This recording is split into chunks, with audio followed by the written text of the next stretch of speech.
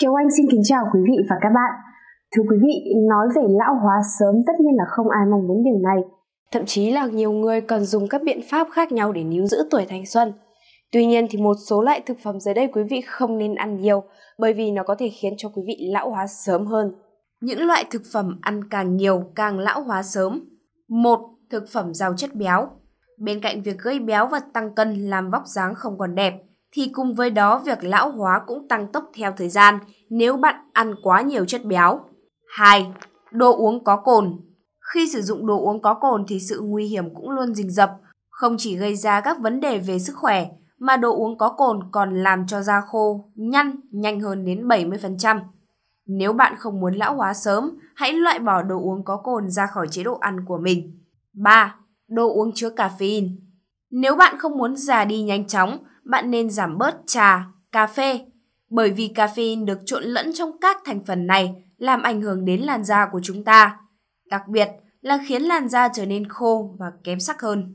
4. Thực phẩm lên men Thực phẩm lên men và thực phẩm bị nhiễm độc tố. Ăn những thực phẩm này sẽ khiến cơ thể phải giải độc nó.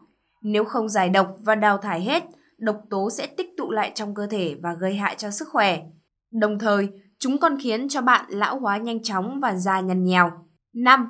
Đồ nướng cháy Thực phẩm nướng cháy không chỉ gây ung thư mà khi ăn phải phần cháy đen còn gây lão hóa da nhanh chóng. Ngoài ra, ăn đồ nướng cháy trong một thời gian dài sẽ khiến sức khỏe của bạn gặp nhiều vấn đề cũng như là gặp phải căn bệnh ung thư. 6. Dầu cũ Thực phẩm chiên từ dầu cũ hay còn gọi là phần dầu thừa đã chiên được dùng lại sẽ gây tích tụ ung thư và gây ra lão hóa sớm. Nguyên nhân do khi tái sử dụng dầu, nó có thể tạo ra các gốc tự do có hại cho cơ thể trong thời gian dài. Những gốc tự do này có thể gây ung thư và gây tổn hại đến cơ thể. Việc tái sử dụng dầu cũng liên quan đến sự gia tăng nồng độ cholesterol xấu trong cơ thể. Một số nguy cơ sức khỏe khác có thể bao gồm axit gây hại cho tim và khó chịu cho cổ họng. Theo chuyên gia dinh dưỡng, nếu bạn muốn tái sử dụng dầu thêm một lần nữa, hãy chắc chắn rằng dầu của bạn nóng vừa đủ và chưa bị bốc khói. Điều này có nghĩa là nếu bạn đang chiên một số thực phẩm, dầu nóng và bốc khói thì hãy đảm bảo rằng chúng phải được đổ đi.